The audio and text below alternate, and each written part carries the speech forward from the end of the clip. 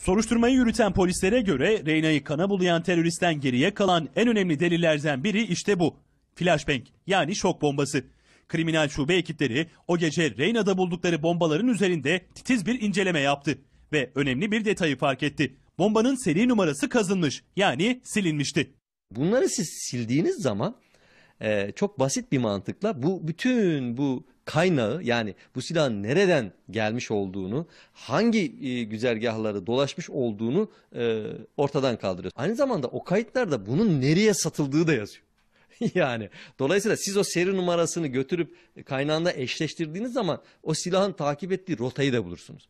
Aslında polislerin elindeki tek kanıt sadece seri numarası silinen o şok bombası değil. Terörist kanlı saldırıda kullandığı silahın yani Kalashnikov markalı uzun namlulu tüfeğin seri numarasını da silmişti. Terör uzmanı Doktor Eray Güçlüer'e göre sadece bu bile o terörist saldırının ardındaki ülkeyi göstermeye yetiyor.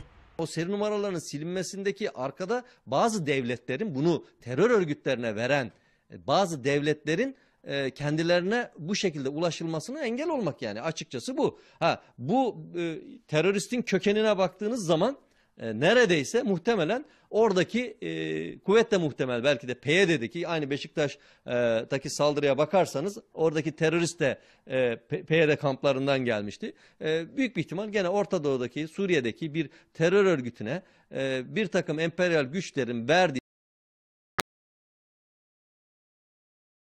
gelinip Türkiye'de kullanılmasını ifade ediyor. Kriminal şube polisleri şimdi hem o kanlı silahı hem de şok bombalarını daha ayrıntılı bir incelemeye aldı. Silah ve mühimmat özel yöntemlerle inceleniyor. Seri numaralarına ulaşılmaya çalışılıyor ve bu yolla hem eylemin hem ardındaki örgütün hem de daha üst